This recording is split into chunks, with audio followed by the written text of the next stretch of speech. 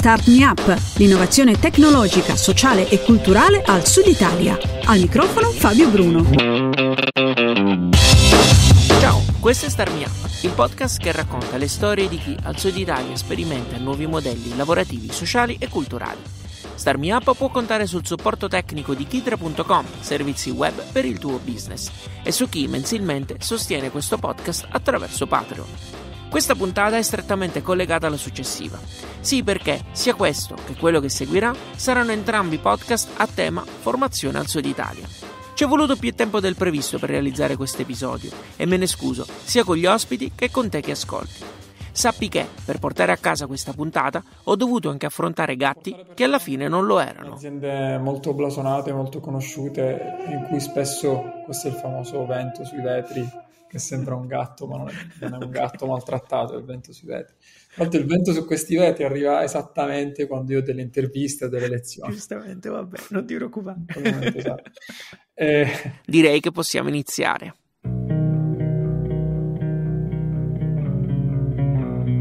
Cerchiamo di convogliare un po' le migliori energie e risorse uh, dal mondo politico-industriale per dare un segnale di, di investimento e fiducia nell'area del Mediterraneo per sostenere il nostro ambizioso progetto di sviluppo uh, attraverso la, la, il potenziamento del capitale umano.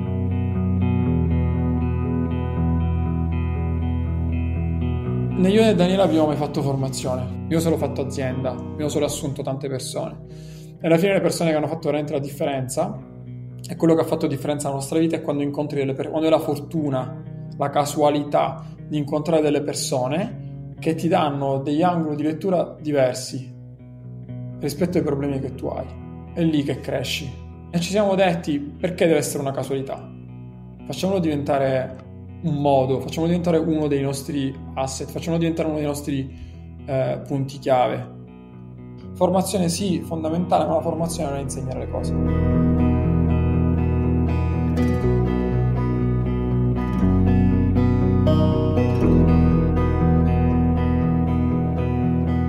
Parlare di formazione in Sicilia per chi, come me, ha passato parecchi anni a leggere la cronaca di tutti gli scandali che ci sono stati a livello regionale in questo settore fa un certo effetto. Naturalmente, le storie che ho intenzione di raccontare in questo podcast e nel prossimo non hanno niente a che fare con la cronaca di quei giorni. Anzi, citare questi episodi ci dà la possibilità di comprendere quanto dal punto di vista culturale le cose stiano cambiando. Qualche anno fa nessuno avrebbe immaginato di venire a formarsi in Sicilia. Ecco, le due storie che voglio raccontare in questo podcast confermano questa visione. Una visione che vede la Sicilia come perno dell'area del Mediterraneo in un caso e come bacino occupazionale, in senso buono ovviamente, nell'altro.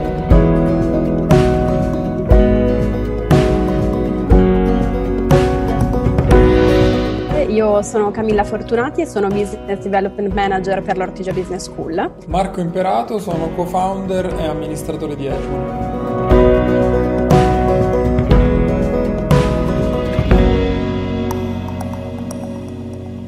La Fondazione Ortigia Business School è una piattaforma con lo scopo di favorire innovazione e sviluppo uh, del Sud Europa e dell'area del Mediterraneo, eh, supportando l'impresa e uh, la valorizzazione del capitale umano. Questo progetto nasce dall'idea dell'economista italiana Lucrezia Reiklin, eh, che dopo aver costruito la sua carriera prevalentemente all'estero, tra Stati Uniti e Nord Europa, eh, ha sentito forte la necessità di contribuire eh, al rilancio dell'Europa, in particolare eh, del Sud Italia, e ha quindi voluto chiamare il suo network eh, di, di, business leader, di, di, economisti, a spendersi per questa causa. E insieme a lei hanno lanciato questo progetto altri due cofondatori, che sono il eh, professore ed economista Francesco Drago, eh, oggi all'Università di Catania, e l'avvocato Piero Figliolei.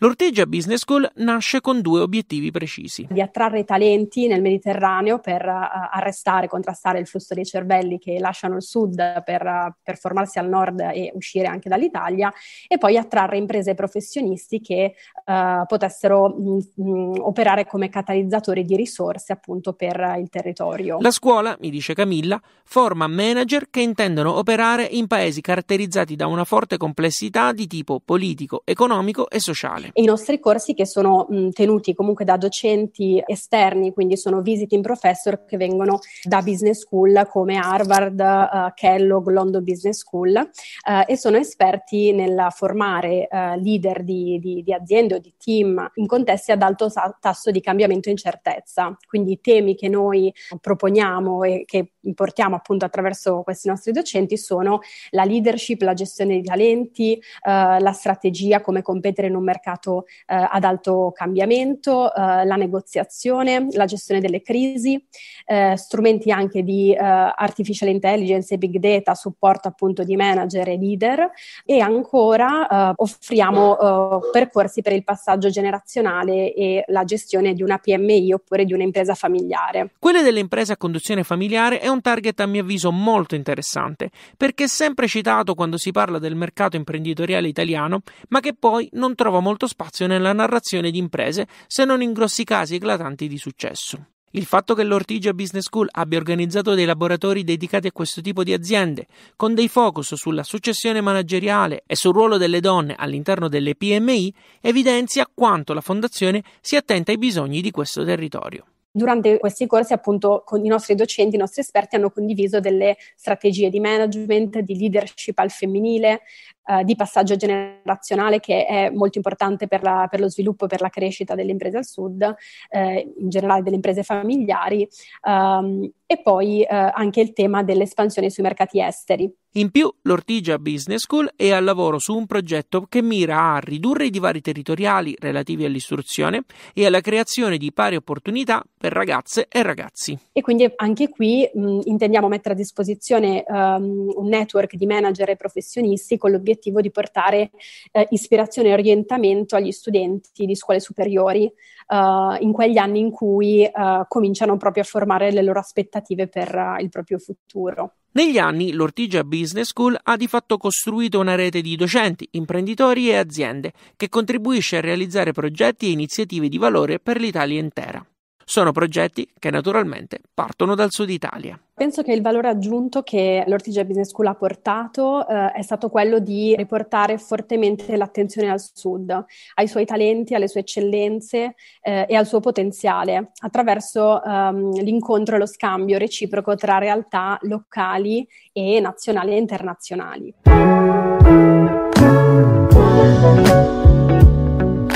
Sembra veramente incredibile ripensare a quando ci siamo sentiti perché è cambiato tutto, al di là che è cambiato il mondo. Però Edgemon è diventata esattamente quello che ti avevo raccontato e è emozionante ripensarci adesso. E qui forse è il caso di fare un piccolo riassunto delle puntate precedenti. Ecco cosa mi aveva detto Marco di Edgemony nel podcast pubblicato l'8 aprile 2020. Noi in questo momento esatto, che coincide con la nascita della società che è stata qualche settimana fa, appena prima proprio del, del Covid, quindi è una società che nasce all'insegna della resilienza, che, che ha nella resilienza uno dei suoi valori principali. Noi stiamo già assumendo 5 sviluppatori che lavoreranno in remoto eh, per una startup basata in Silicon Valley. Un progetto di questo tipo ci permette di unire l'impatto sul territorio a quella seconda parola oggi innominabile che è la contaminazione che è poi l'unico modo davvero di cambiare le cose qui. Ma le azioni di Edgemony non si fermano qui. Noi eh, a settembre lanciamo il primo um, Master in Digital Marketing e lanciamo un Coding Bootcamp. Siamo riusciti a portare eh, dentro i nostri programmi general manager di mm, Amazon, Deliveroo, di Pinterest, persone che lavorano in corporate come Capgemini o Ernest Young. Noi stiamo lanciando il terzo Master in Digital Marketing che parte a settembre, abbiamo, abbiamo, completato il primo, il secondo ora sta andando... Siamo tornati nel 2021. In questo momento è proprio in fase di, una parola brutta, erogazione. Questa settimana terminiamo il primo Coding Bootcamp, quindi noi siamo proprio in una fase caldissima e stupenda. Eh, dei ragazzi che hanno finito il percorso di formazione stanno lavorando sul progetto finale che dura un mese e stanno iniziando i colloqui con le prime aziende che li stanno assumendo. Ah, siamo andati in sold out in tre settimane col primo master in product management, che è il primo però che facciamo a livello nazionale. Abbiamo iniziato un bellissimo percorso uh, di formazione B2B, quindi rivolto alle aziende, anche questo a livello nazionale, e noi oggi quindi lavoriamo con aziende come Leroy Merlin, come Microsoft, come Conte.it, li facciamo soltanto su mh, eh, competenze molto verticali come quella degli OKR e siamo passati da io e, e Daniele e un'altra persona, adesso siamo sei. Hegemony è una tech school che mira a trasformare gli individui, come mi ha detto Marco. Un intento che si capisce già dal claim che è a Human Accelerator. Oltre alla formazione in senso lato, in questi mesi è andato avanti anche il lavoro con il team degli sviluppatori. Quel primo team di sviluppatori si è evoluto in un team eh, dedicato principalmente a QA, Quality Assurance. Sono tre ragazze, e quindi anche qui anche una piccola soddisfazione col grande gender gap che c'è nella, eh, nel Dipartimento Tech, che lavorano per questa azienda eh, che in realtà è una, una sorta di società di servizi, una sorta di software house eh, che ha creato una, una, app che si chiama Confidence System, proprio in risposta al Covid. Eh, un sistema di certificazioni della pulizia e della sanificazione eh, degli appartamenti. Eh, hanno fatto una, una grande partnership con Airbnb recentemente. Le due realtà protagoniste di questo episodio si rivolgono a un target ben specifico. Allora, la nostra scuola uh, si rivolge sia a grandi imprese che PMI e mm, piccole imprese del sud Italia e del sud Europa i nostri studenti quindi sono manager, professionisti e imprenditori uh, di realtà sia uh, nazionali che internazionali ma anche locali. Quelle a cui si riferisce Camilla sono grosse multinazionali come Accenture, Enel o Intesa San Paolo e le siciliane Sifi e Sonatrack, per citarne solo alcune. Abbiamo coinvolto tutte le aziende, anche appunto italiane e internazionali multinazionali, che avessero comunque un interesse strategico uh, per l'area del Mediterraneo e del Sud Italia.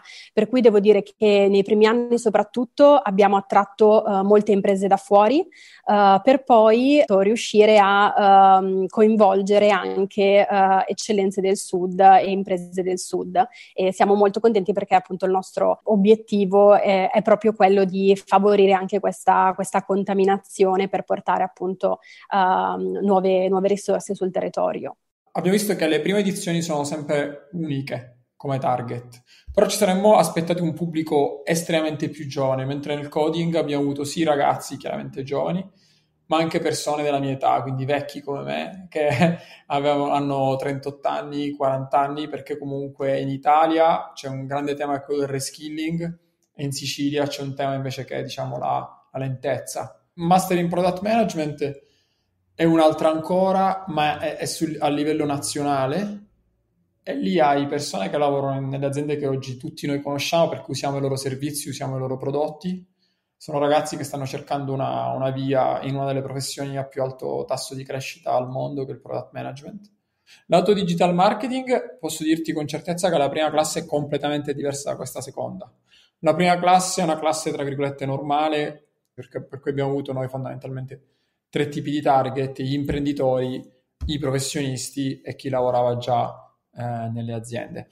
La seconda classe invece del Master in Digital Marketing è la classe FIA del Covid, perché è una classe veramente incredibile ed è la classe di, di quelli che ritornano.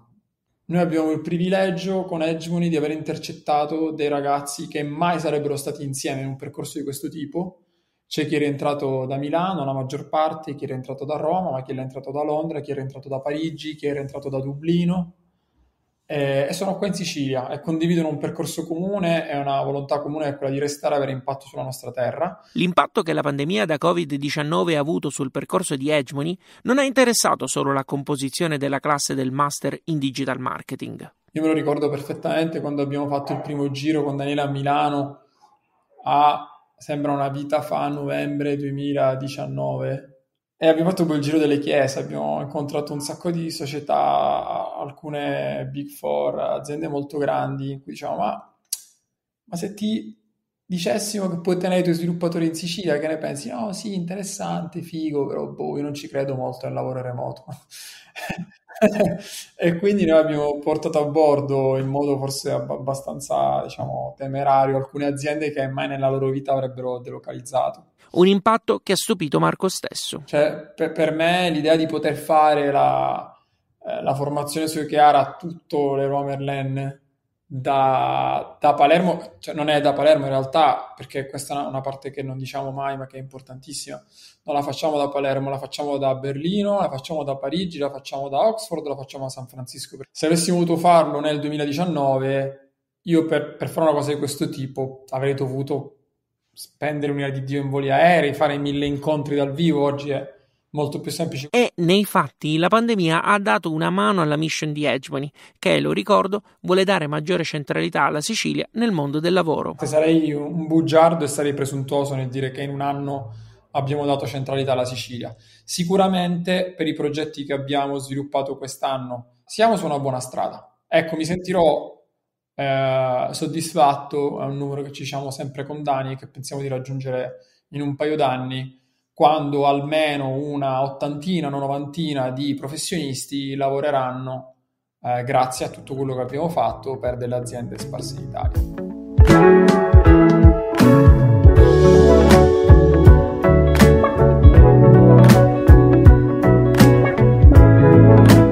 Ortigio Business School è riuscita a trasformare un periodo di crisi e di apparente calma in un momento di crescita e rilancio. Durante il periodo del primo lockdown, eh, come tutti, abbiamo un po' dovuto riorganizzare eh, nostra, le nostre attività eh, e abbiamo deciso di um, organizzare delle discussioni tematiche aperte eh, sulle priorità per il rilancio del paese, eh, in modo da contribuire un po' um, al, al, dibattito.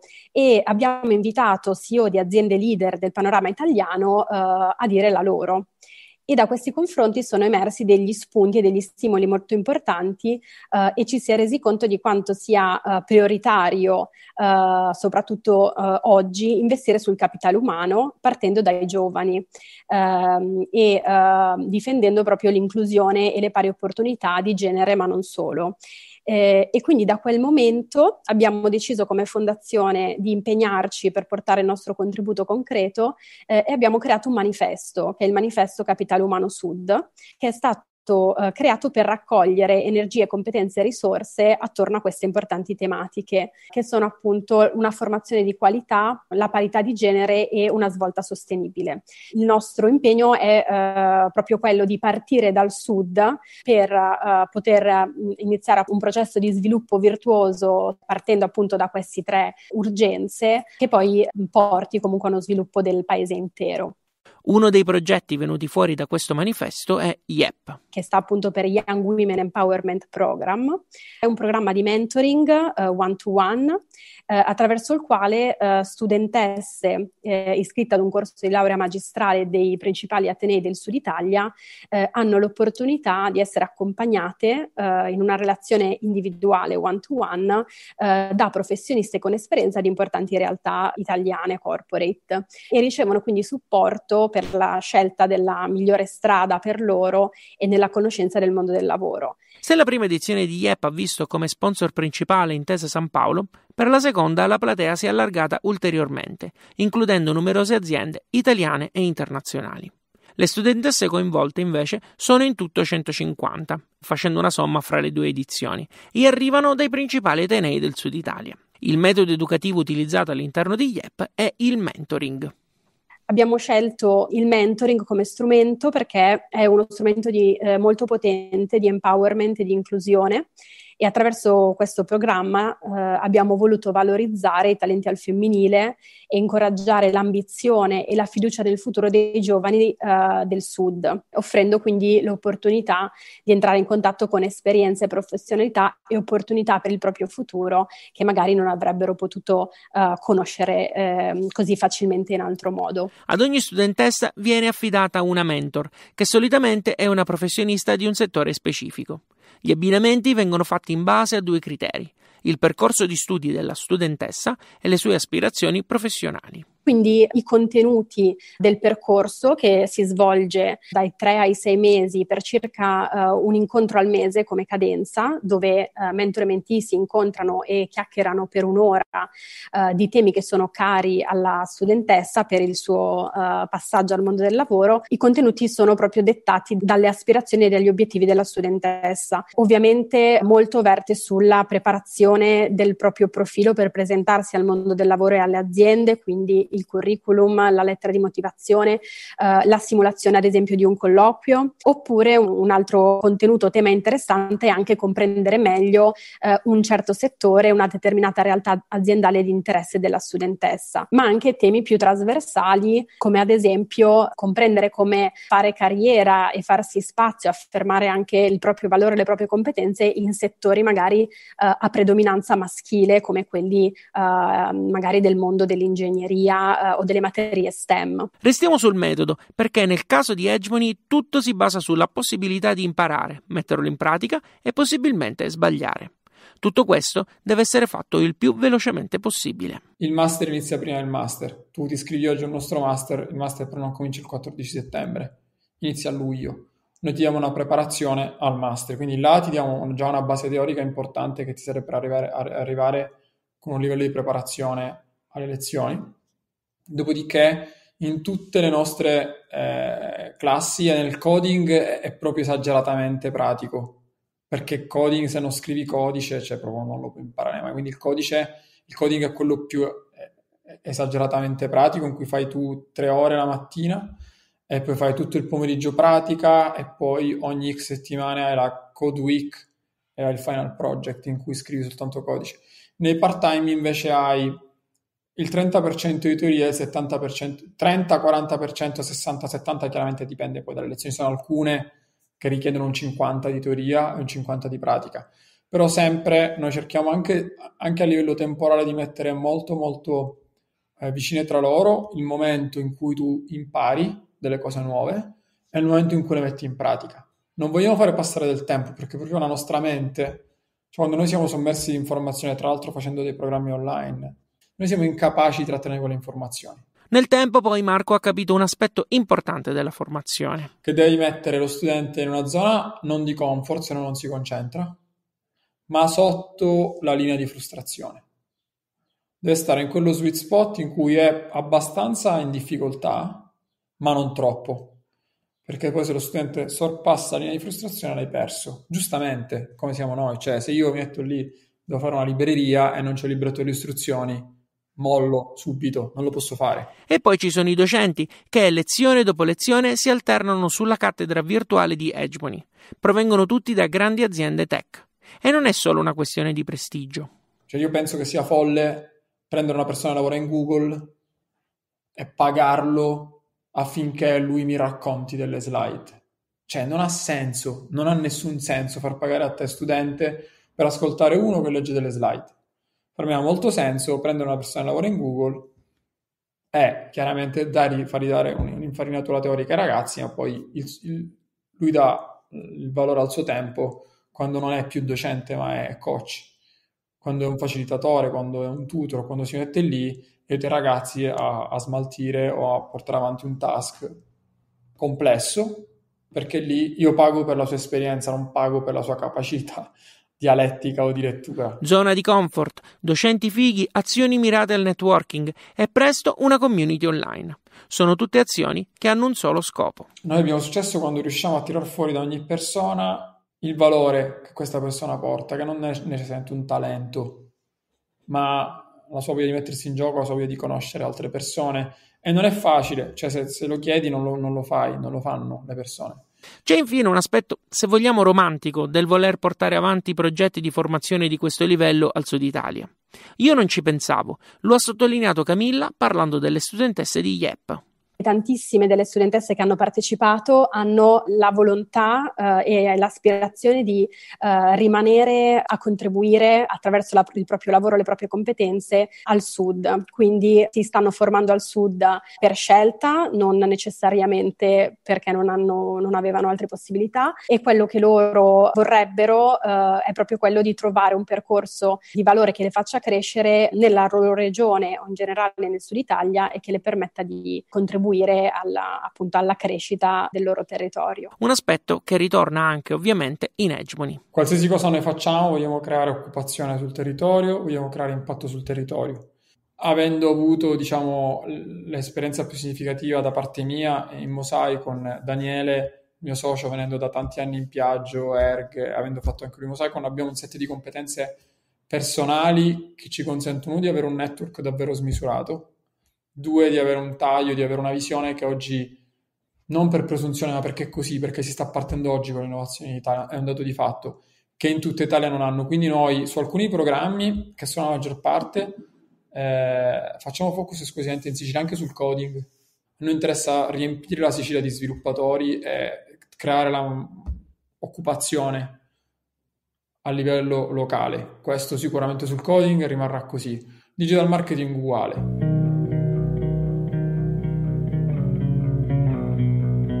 Chiudo questo primo viaggio nella formazione al Sud Italia, mi raccomando non perdere il prossimo podcast, con gli ultimi due interventi di Marco e Camilla, che mettono insieme l'opportunità data dal momento che stiamo vivendo e la sfida che questo stesso momento ci pone davanti. E ti ripeto Fabio, questa roba qui un anno fa sarebbe stata immaginabile. C'era anche un pregiudizio, ma da parte mia per primo. Cioè non mi sarei scritto forse Palermo se avessi dovuto fare formazione eh, a livello nazionale. E Mosaico, per Mosaico è stato molto complesso Oggi è tutto completamente sdoganato. Uh, in effetti l- l'aspetto della formazione manageriale al sud è l'aspetto più sfidante in tutto questo progetto, però um, ci crediamo perché uh, crediamo che lo sviluppo passi attraverso le persone e quindi um, il capitale umano è la più grande risorsa che abbiamo e che va coltivata e quindi uh, per questo ci spendiamo per portare comunque una certa formazione anche in questo territorio.